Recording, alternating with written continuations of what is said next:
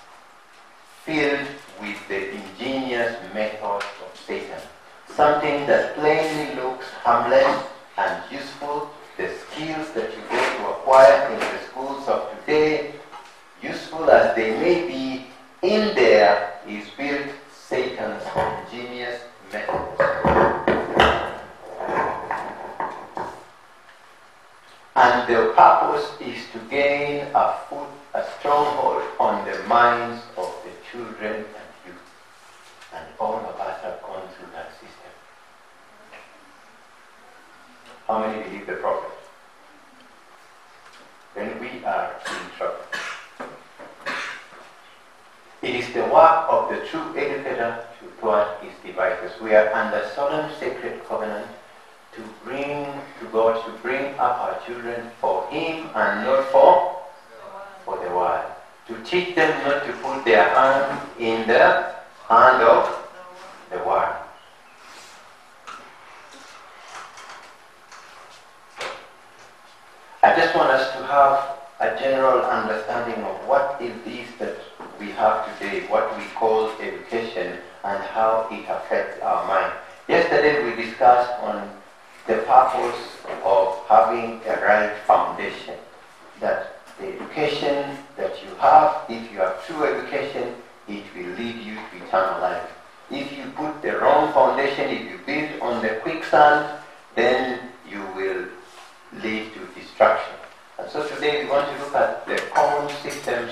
education and how they affect uh, God's purpose in giving the third angel's message to the world is to prepare people to stand true to Him during the investigative judgment. And this is the purpose, the purpose for which we establish and maintain our publishing houses, our schools, sanitariums, hygienic restaurants, treatment rooms, and food factories, and food factories, and food factories, and food factories. You have no idea what goes on in the food factories today. This is our purpose in carrying forward every line of work in the course. It is now that we must keep ourselves and the children unspotted from the world. Can you be unspotted if you are in a secular system of education? Can you be unspotted if you are in a secular system of education? Can you? What does it mean to be unspotted? Sorry? Without blemish? I mean, this is English now. We are not discussing about prophecy. What does it mean to be unspotted? Godly. Huh? Godly. Godly? But just, just on the English, on the surface, assuming you are not even in church, what does it mean to be unspotted? Clean. Uh-huh. Pure. Pure. Without any spot, isn't it? It's, this is simple. Unspotted. Can you be without any spot of dirt if you are playing among children that are dirty? Can you? And you are putting on the shirt of my friend here. Can he play with the children that are mucky and dirty and his shirt not get a spot? Can you? And so we are told there that it is time that we ourselves and our children to be unspotted from the world. It is now that we must wash our robes of character and make them white in the blood of the Lamb. It is now that we must overcome pride, passion, and spiritual slothfulness. These are the ingredients you find in secular education. Number one is pride.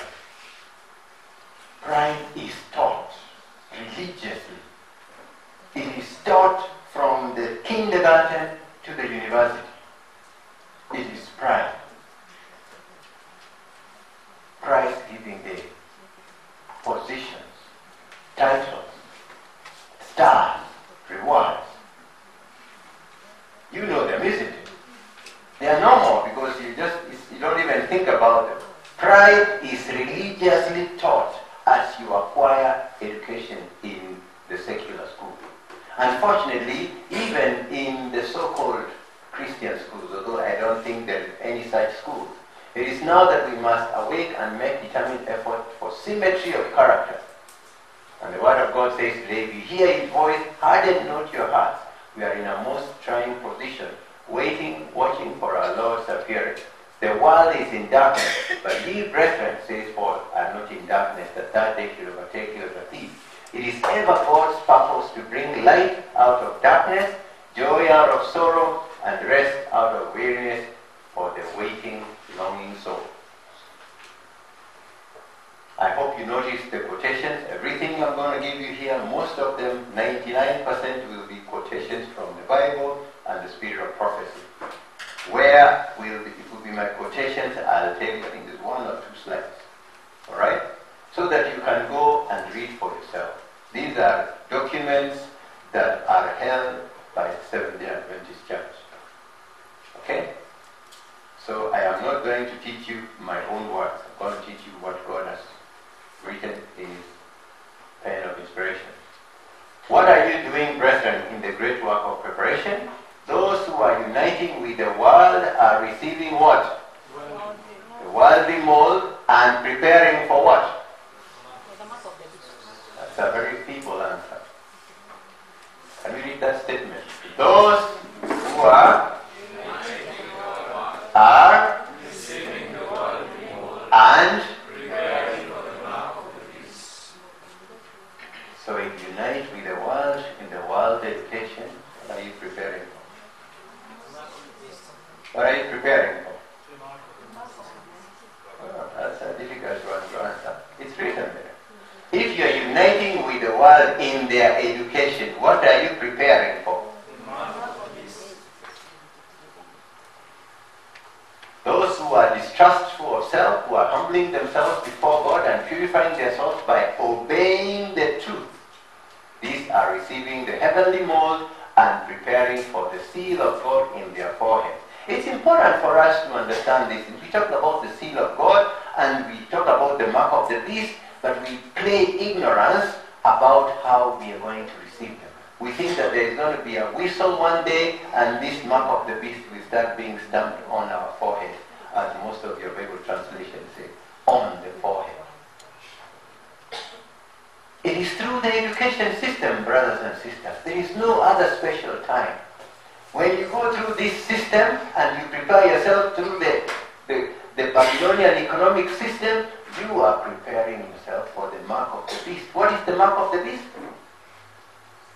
What's the mark of the beast? We should answer like a chorus. What's the mark of the beast? It is Sunday worship. If the mark of the beast is Sunday worship, the secular education prepares you for Sunday worship. Which school has classes on Sunday? Any? Anybody knows any school that holds classes on Sunday? None. But most schools are demanding that students go to class on Saturday evening. There's no rocket science in God's word. It's there. When you go through such schools, which honor Sunday for all your youth life, you know that Sunday there is no class. Unconsciously, you are preparing yourself for the mark of the beast. Unconsciously. And that's why in most churches today, they don't want to hold meetings on Sunday. No, no, no, no, no. Sunday I'm busy. I, I don't, let's have it on Sabbath. Most churches don't want to hold any departmental meetings on Sunday. Oh, Weekdays. No, Sunday we don't have time. It's not by coincidence. When I was small, I used to see the church board used to meet on Sunday. Church business used to be on Sunday.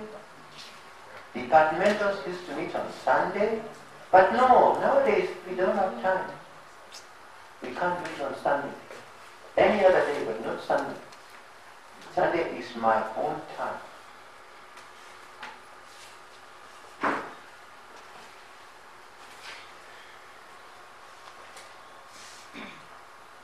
Therefore rejoice ye heavens, ye dwell in them. Woe to the inhabitants of the earth and sea, for the devil is come down unto you, having the great wrath, because he knoweth that he hath but a short time. And the dragon was wroth with the woman, and went to make war with the remnant of her seed, which keep the commandments of God and have the testimonies of Jesus Christ.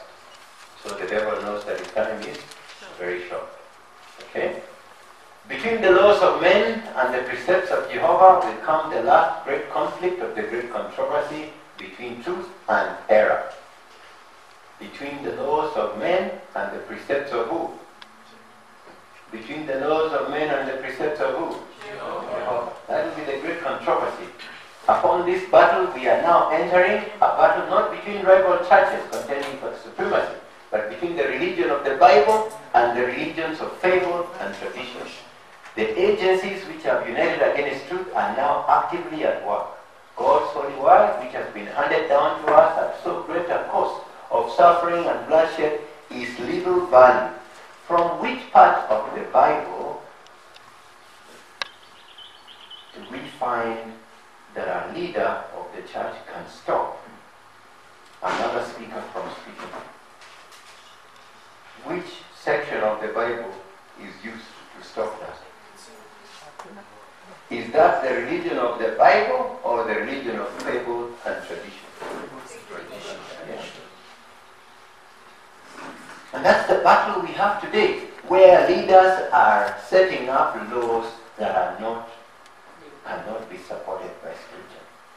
Where does it say that I must seek another human's permission to speak to a church? Or even a group of men?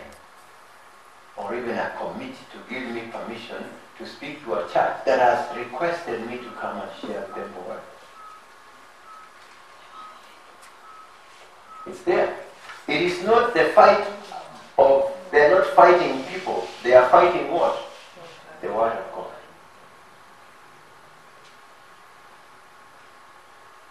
There are few who really accept it as the rules of life. Infidelity.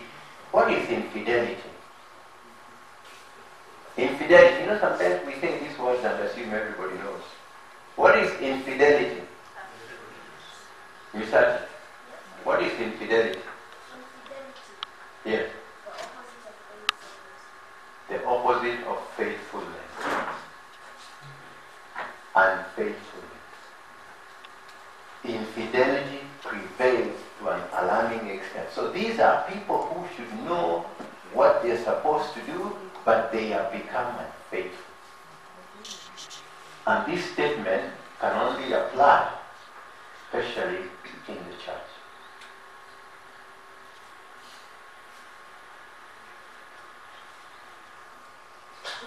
Many have come to deny doctrines which are the very pillars of the Christian faith, the great facts of creation, as presented by the inspired writers, the fall of man, the atonement, the perpetuity of the law. These are all practically rejected by a large share of the professedly Christian world. Thousands who pride themselves on their knowledge regard it as an evidence of weakness to place implicit confidence in the Bible and a proof of learning to cavil at the scriptures and to spiritualize and explain away the most important truths. If I had time, I would have shown you in the lesson quoted of January 2013, where they teach that creation was not in six literal days. Quarter 1, 2013, the adult lesson quoted.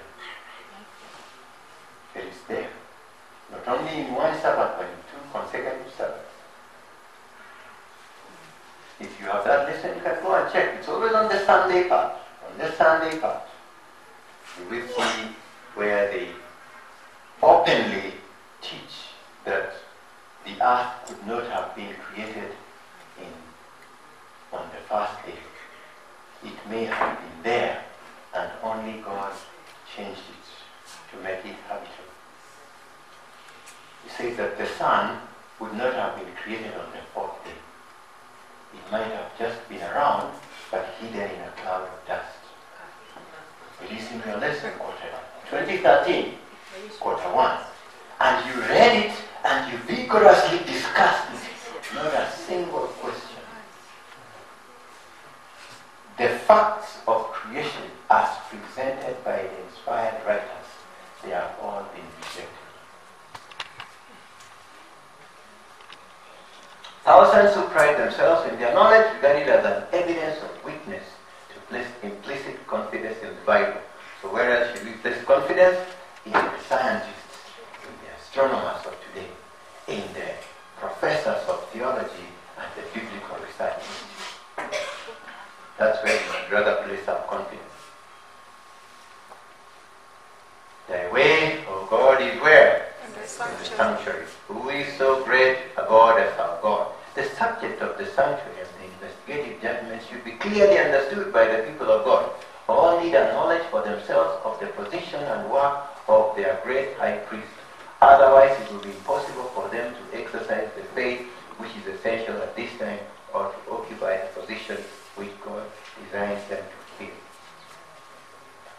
Solemn are the scenes connected with the closing work of the atonement. Momentous are the interests involved therein. The judgment is now passing in the sanctuary above. For many years, this work has been in progress. Soon, none know how soon to pass to the cases of the living. It's what we were saying yesterday, that the life we have today is a life of probation. We are living in the time of the investigative judgment. And you never know when your name will, will come up. Or you just don't know when you're going to die, because when you die, that's the end of your probation. Or when your name is called up, that's the end of your probation. In the time of Noah, when the ark was closed, and Noah and his family and those animals that had been picked were in the ark, there was six days when everything went as normal. The people went on with their business. The sun rose, the sun set. The birds went around singing, and everything looked normal. But what had happened? Probation had closed.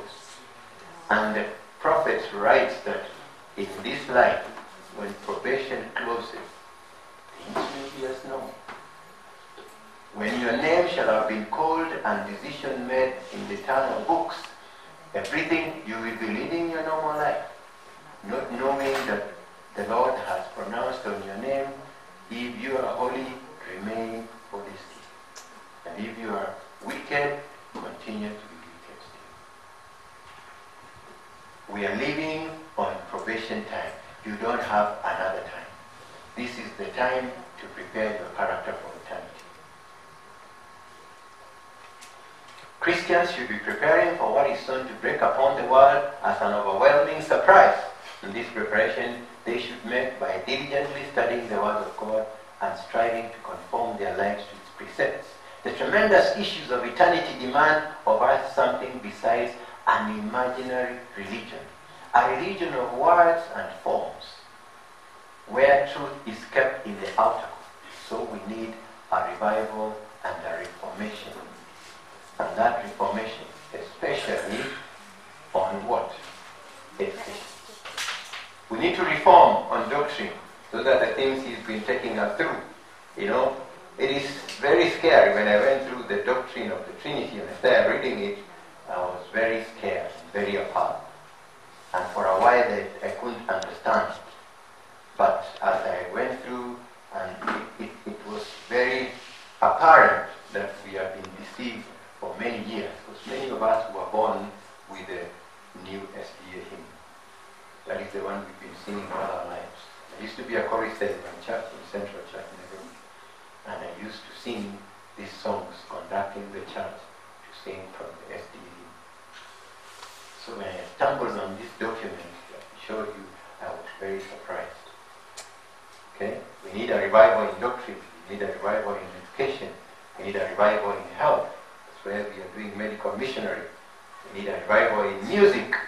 Many of you guys have no clue how much music has damaged our mind. You have no idea about the damage rock music has done. All our churches, all the choirs in the Seventh-day Adventist churches are playing rock music. They have joined the bandwagon. You know, the, the Sunday churches started a long time ago. For them, that has been standard. But you know, the Vatican II, when they met, was it in 1962? They decided either in attending school or in associating with others be influenced by those of corrupt habits. So the problem is not the, the skills that you need to learn.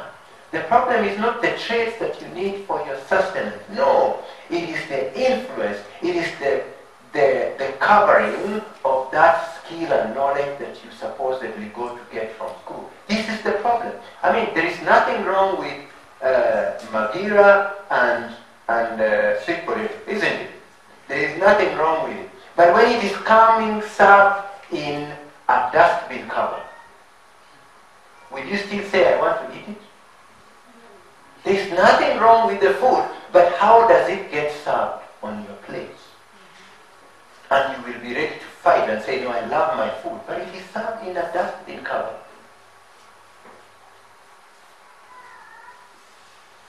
That's what we call influence, the associations, the things that you get in addition to that which you pay school fees for. Today in most schools, it is most corrupt.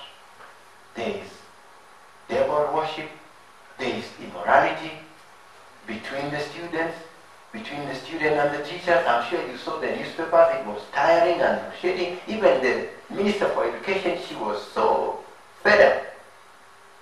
with what's going on in the schools. And you still want to fight and go and get something from there. It's written. The education that is generally given in the schools of the world is not that which can be accepted as. you say. Straight. Educators of youth should be Christians who are themselves under the discipline of God. Let us view the case correctly. Children are the heritage of the Lord and are to be so educated that they may be the younger members of the Lord's family, prepared by proper instruction to serve the Lord in their childhood life. Shall the members of the church give means to advance the cause of Christ among others through your offerings and tithes, and let their own children carry on the work and service of Satan? You give your offerings to the church faithfully, tithes and offerings. You support the work of God in other places as you give your children to the fire of Moloch. Or for a clearer perception of what we might accomplish if we will learn of Jesus. We may bring hundreds and thousands of children to Christ if we will work for them. If we will work for them. We have to work for them. Let all who read the words be measured and subdued. Let us in our educational work embrace far more of the children and youth than we have done. And there will be a whole army of missionaries raised up to work for God. I want you to look at the last sentence. I told you the purpose, the object of true education is missionary training. I know we have not reached the slide which has that statement, but I mentioned that statement yesterday. If your intention is to raise up an army of missionaries, you can never raise an army of missionaries by going to the secular schools. By taking your children to the secular schools, they can never be missionaries. They will just be ordinary citizens who are the stamp of Babylon, who need to be saved, who need to be preached to. So if your intention and your objective is to be a missionary, you can never be a missionary with a secular education. You are simply being prepared for the service of Satan. And if you have children and you want those children to serve God as missionaries, they can never be missionaries by going through the secular system of education. Because it's not designed for that. The reformers whose protest has given us the name of Protestant felt that God had called them to give the light of the gospel to the world. And in the effort to do this, they were ready to sacrifice their possessions, their liberty, even life itself. In the face of persecution and death, the gospel was proclaimed far and near. The word of God was carried to the people in all classes, high and low, rich and poor, learned and ignorant, eagerly studied it for themselves. Are we in this last great conflict of the great controversy as faithful to our trust as the early reformers were? Blow the trumpet in Zion, sanctify a fast, call for a assembly, gather the people, sanctify the congregation, assemble the elders, gather the children, let the priests, the ministers of the Lord, weep between the porch and the altar, and let them say, Spare thy people, O Lord, and give not thy inheritance to reproach. Turn ye even to me with all your hearts, and with fasting, and with weeping, and with mourning, and rend your heart, and not your garments. And turn unto the Lord your God, for he is gracious and merciful, slow to anger, and of great kindness, and repented him of the evil. Who knoweth? He will return and repent, and leave our blessings behind. Okay, I think I am halfway through. I would like us to stand up and stretch a little bit. To go deeper and find out what is education.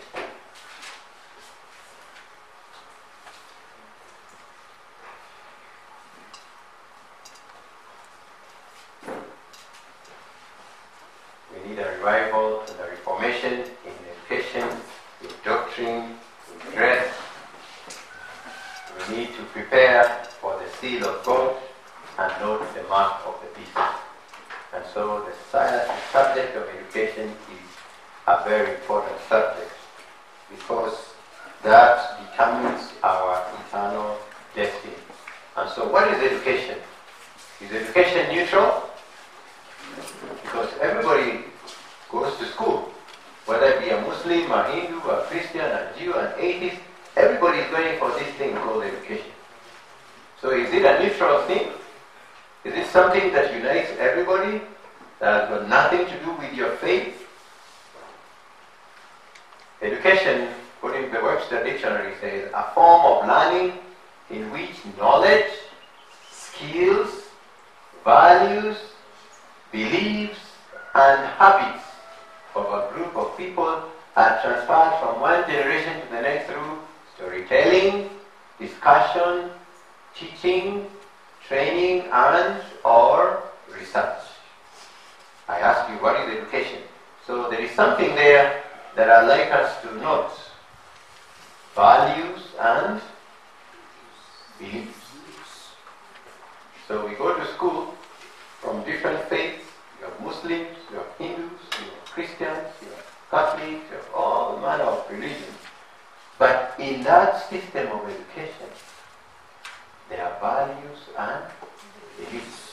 Now, our values, the values for a Christian are not the same as the values for a Muslim, isn't it? So how come that we go and attend the same school and we are not concerned, and yet our values are different? So what values are we being taught in school? What beliefs are we getting in school when we have different beliefs among the different churches? If the secular world defines education as including values and beliefs and habits. So when you are through this system of education, what habits have you acquired? Do you get those the list of the habits that you are expected to have when you go to a school? Do they tell you that in this school we shall teach you these values, we will teach you these beliefs and these habits? Do they explain them? They are not there. They are not in they are not open. They are hidden. Those are the things that the devil has weaved ingeniously through the method of instruction.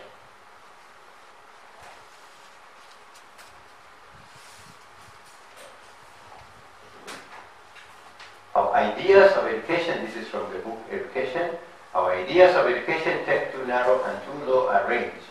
There is a need of a broader scope, a higher aim. True education means more than the pursuit of a certain course of study.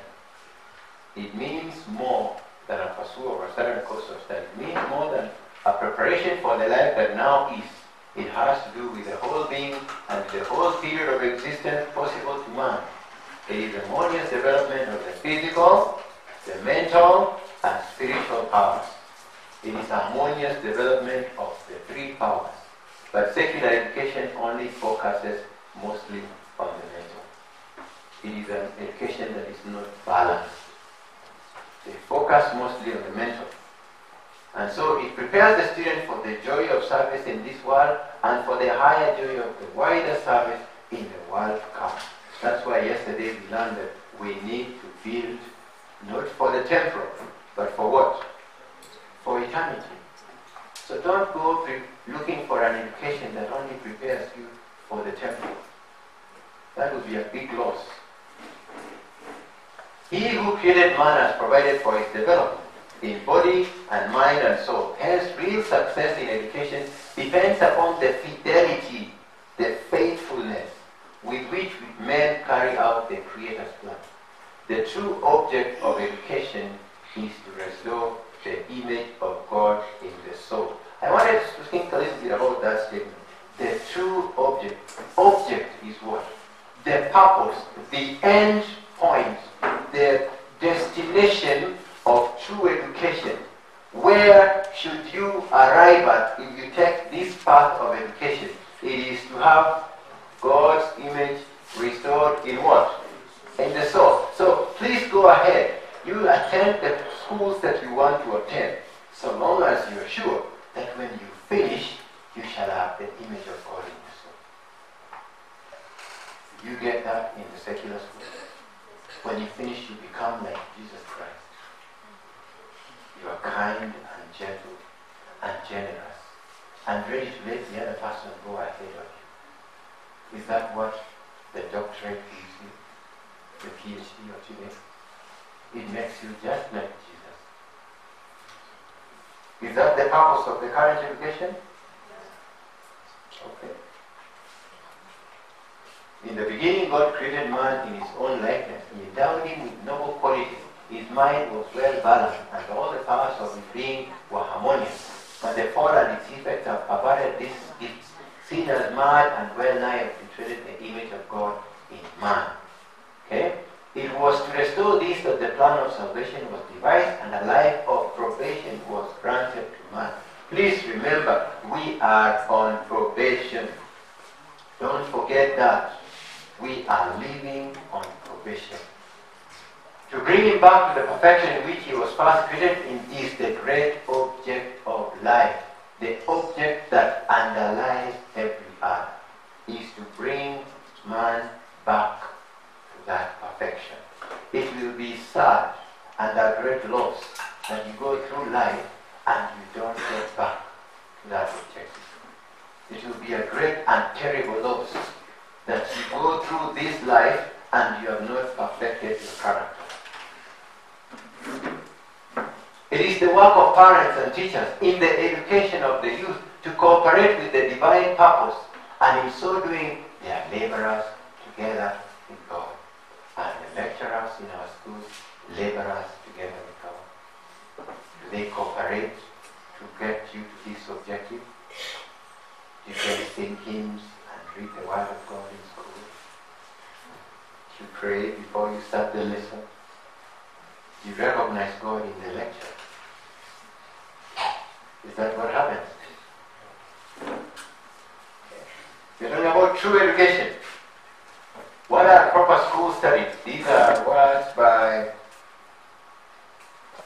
one of the General Conference leaders at the time of the pioneers. What are proper school studies and what is their relation to character? These questions have been answered by the world's great teacher. You shall know the truth and the truth shall make you free. Okay?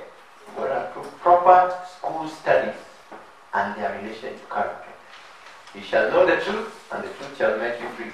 Whatever one devotes his time to while in school, with a view to learning it, is a study. Whatever you devote your time in school with a view to learning it is a what? It is a study. He who does studies is a student, and the object should be to make free, free from ignorance and sin. The truth should be studied. The whole truth and nothing but, but the truth. But what is truth? And where shall, shall we find it?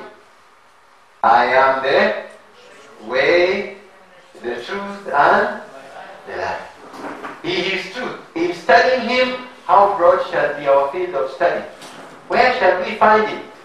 It is he that is heir of all things, by whom also he made the world, who being the brightness of his glory and the express image of his person, and upholding all things by the word of his power, when he had by himself purged our sins, sat down on the right hand of the majesty on high. Education in relation to character. We should study truth, and truth can only be found in Jesus Christ. Such study includes all things, but this studied in such a way as to reveal their author and upholder. It includes all time, the past, the present, and the future. But time in its relation to the origin of things, the causes that govern their present, present phenomena, and their future dissolution or innovation. And the unity that runs through all things and all time is truth.